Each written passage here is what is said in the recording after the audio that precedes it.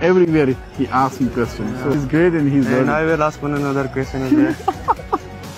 so you have 18 wickets. Shami has 18 wickets. Yeah. Who should get purple cap in next match? Or you should you will do Spilak. What is called? तो बोला वो सीढ़ी